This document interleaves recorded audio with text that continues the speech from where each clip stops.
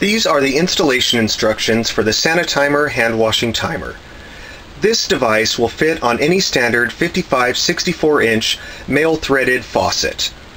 First of all, what you're going to want to do is make sure the water is turned off at the faucet that you're going to be installing the Sanitimer on.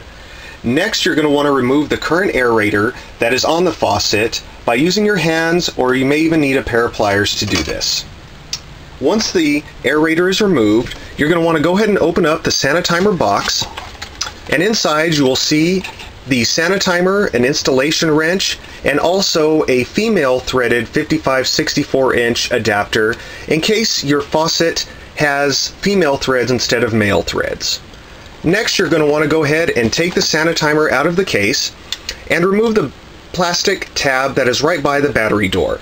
This will go ahead and activate the battery to display the 30 seconds that is on the LED timer. Next, you're going to want to go ahead and come over and line up the threads to the faucet along the orbiting adapter. Go ahead and make sure that the threads do line up in order that there's no leaking out of the Sanitimer and the faucet connection. You're going to want to go ahead and hand tight this as much as you can and then you can use the wrench that comes included to go ahead and tighten up any further more that you prefer. We have also included rubber washers to make sure that no water is leaking out. Once installed, the LED timer is on and you can go ahead and use. You will turn the water on and that will activate the timer.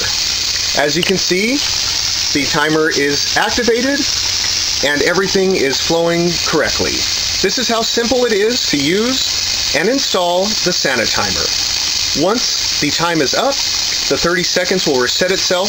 This is how simple it is to use a Sanitimer and to install it. No plumbing or plumber is necessary.